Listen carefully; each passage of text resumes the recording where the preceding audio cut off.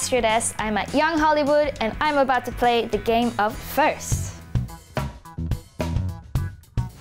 First big celebrities, phone number you added to your contacts. In 2016, I toured with Troye Sivan, so I got his number, but he never replied to my text, so I don't know if he gave me the right number.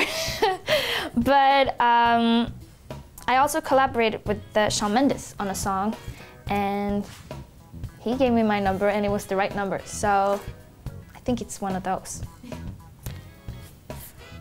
First celebrity crush, that must have been uh, Troy Bolton in High School Musical. I remember dreaming about being a part of High School Musical and waking up with this really hurtful heartbreak. Um, and I've actually never experienced a hurtful heartbreak as bad as I had when I was in love with Troy Bolton. First kiss, I think it might have been with my first boyfriend when I was about 15. So I had a pretty late first kiss at least compared to my friends. First job you ever had? My first job was at an elderly nursing home and I was 15 and I loved it. I thought it was so much fun. And I would bring my guitar some days and play music for them, but they hated it. So they would just sit like this. Um, but I still did it because I enjoyed performing. First person you were starstruck over, Emilia Clarke who plays Mother of Dragons in uh, Game of Thrones, she walked into the room and I felt like I was 10 years old again. And the guy that I was in love with was in the same room. And when she left, I felt really devastated and heartbroken, just like I did with Troy Bolton. Okay, last one. First paranormal experience, if you've ever had one. When I was about 16, I would always see the number 22 everywhere. And it made me really, really crazy. Like I got um, gate 22, I got uh, seated at 22, um, my hotel room was like 222. It was just everywhere. And it still annoys me because I feel like there's something behind it, but I'm not sure. And I've been thinking of tattooing 22 somewhere, but I don't know. That's the story.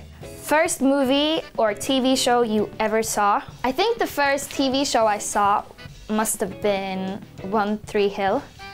Um, I watched all the seasons and I didn't know English at that time, so I didn't really understand it. But I rewatched it when I got older and I think it's really good. Another one.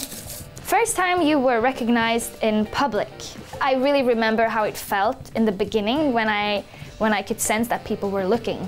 Because in Norway, people don't really come by and say hi, they just look and stare. And I remember I felt like I always had to like walk like a robot. Probably looked really silly, but um, yeah. First embarrassing audition story. Um, I was actually a contestant in the Norwegian Idol in 2013. I was 15 at the time and I found it very embarrassing going into this room with judges and cameras everywhere.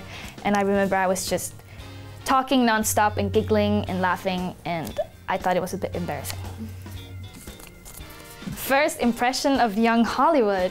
It's not really about the label or the name or the brand. It's all about the people and Always when I've been interviewed or collaborating with Young Hollywood, there's been such nice people, so I would say that my first impression of Young Hollywood is great, because the people here are great.